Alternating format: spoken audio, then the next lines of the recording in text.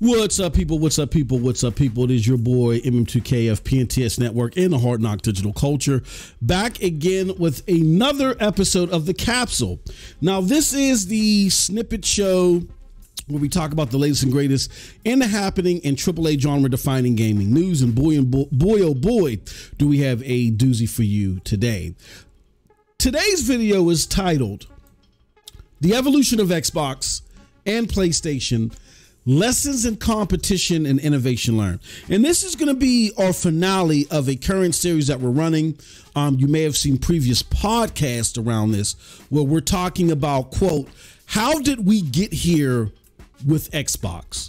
There's a lot of new gamers out here, a lot of people that don't understand the dynamics, why people are bickering or infighting within the Xbox community, why Xbox is like one of the most lauded platforms. Like, why are they one of the most, most lauded and negatively talked about platforms in gaming history? How, how, did this come about? The, the maker of Halo and the curator of Gears of War and Mass Effect and Bioshock. How did how are they seen in such a negative light? Where other platforms that were not is near successful or looked at more favorably. We're going to talk about all that. All right. But before we do all that, do us a huge favor. Hit that like button, hit that subscribe button, and rock those bells for notifications, please, so you know when we're dropping these doses. All right. So let's get started. We want to welcome you. And in this video, we're deep diving the evolution of Xbox and PlayStation, their promises, pitfalls, and the importance of healthy competition in the shaping of the gaming future.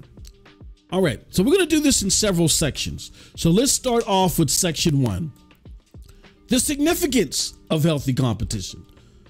Look, gaming history is marked by fierce rivalry, driving innovation and excellence. Xbox and PlayStation have been at the forefront, battling for supremacy. Competition has fueled their drive to deliver top tier AAA games, pushing the boundaries of creativity. Now, Xbox burst upon, uh, upon the scene uh, with captivating AAA titles that define the sixth um, generation in so many ways when it came to Western development. Iconic games like Halo, Knights of the Old Republic, and Gears of War became hallmarks of Xbox's identity. Now, PlayStation's dominance was challenged by Xbox in the seventh generation. And with that success, they were it was spurring them to redefine their strategy. Sony's pivot led to the PlayStation 4, a console beloved by developers and gamers alike. The scrutiny and competition between these two giants have inspired innovation, shaping the gaming landscape as we know it today. All right. So, but let's let, us let us get into the nooks and crannies of why the ire for Xbox. What is behind it? Let's talk about it. Section 2 Xbox's unfulfilled promises. Now, the last decade has seen Xbox promise grand visions for gaming's future, but not all have come to fruition. Phil Spencer, the head of Xbox and Windows Gaming, his tenure brought bold promises from enhanced AAA games to cloud gaming dominance and so forth. Yet some fans feel let down as Xbox struggled to deliver on these uh, commitments. One of the most vivid examples to date is the Xbox Series S. While a good option for price conscious customers, the, con- the console has been criticized as a potential bottleneck for developers. Now, this bottleneck has spilled over to the more powerful sibling, the Xbox Series X. And due to the heavily enforced parity clauses between both iterations, gamers of the more expensive model miss out too.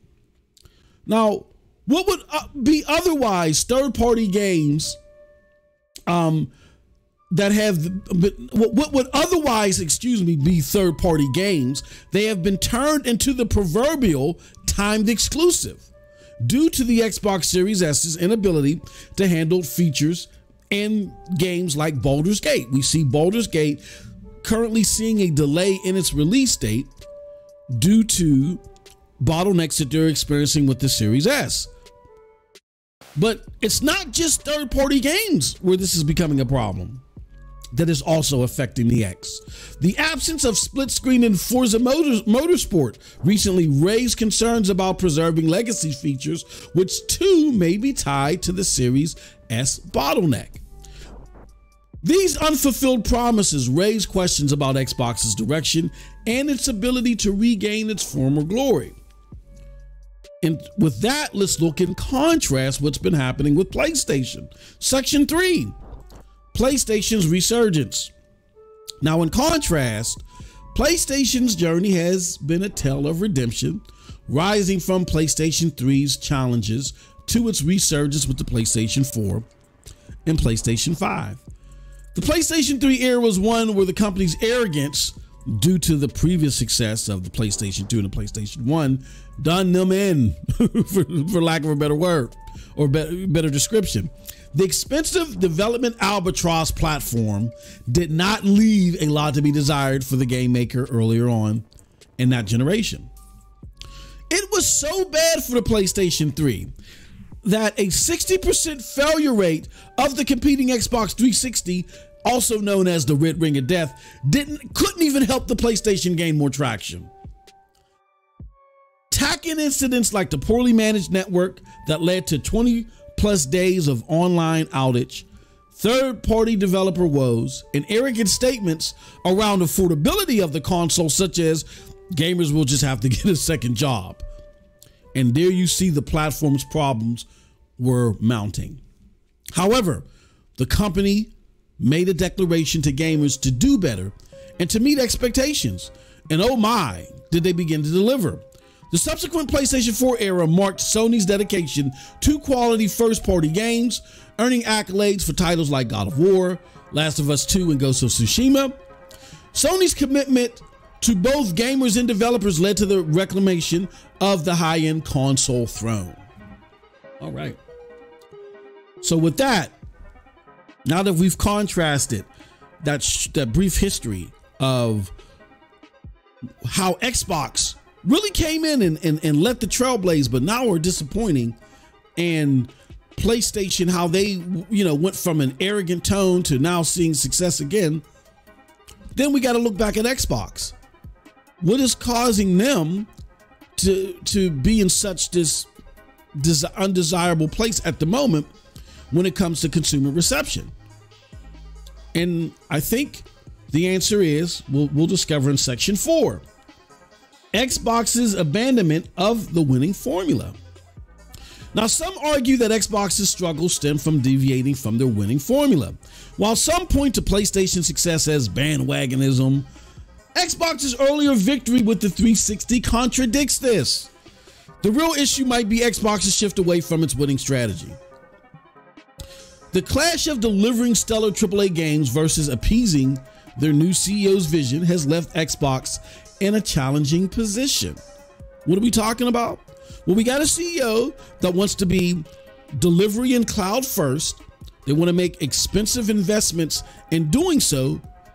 However, they've abandoned vital things that add to the art, like second party deals and, in, and ensuring that there's um, sound quality check and quality control behind what they release. They're more focused on ballooning the, the quantity of a subscription service and making sure that games release in cadence.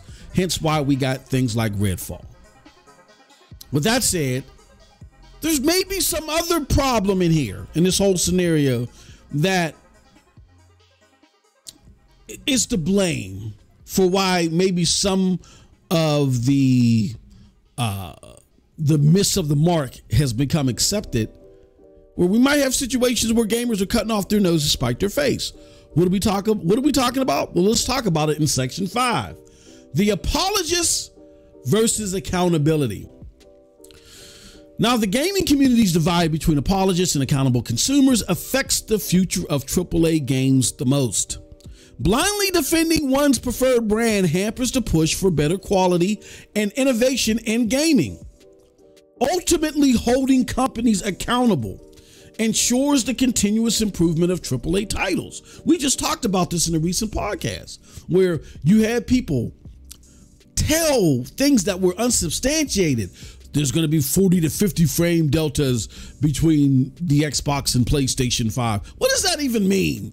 It's just a bunch of word salad to make it sound like that the Xbox Series was going to heavily outperform the PlayStation, right? And The Xbox Series S is not a bottleneck. These developers are lying. They want PlayStation to win. All of this quote unquote capping for a brand for no reason besides wanting to belong has confused and misled consumers. And again, people have done this. They have sacrificed the, the beneficial knowledge that could have been cascaded to their fellow gamers for the sake of how a brand is framed. A brand that most of them are not getting any kickbacks from. Sad. With that said, that leads us to our conclusion. As we conclude our exploration, it's clear that the rivalry between Xbox and PlayStation, their promises, and their struggles all contribute to the evolution of gaming. Healthy competition drives innovation, inspiring groundbreaking experiences that keep us immersed in the virtual worlds we love. The future of gaming relies on passionate gamers holding companies to their com- commitments, ensuring a vibrant landscape of top notch AAA games. Thank you for joining us on this journey through gaming history. Remember, it's not just about the console wars, but about the experiences they bring to us all. And with that said, folks, that's it from your boy. Let me know what you think about all this in the comment section below, because like we always say, who cares what I think? But if you like what I had to say, check out the links below to follow me. They'll lead you to the Broadband Bullies PNTS Network, Hard Knock Digital Culture, and yes, Cloud Dosage. With all that said, peace. Have a wonderful gaming day.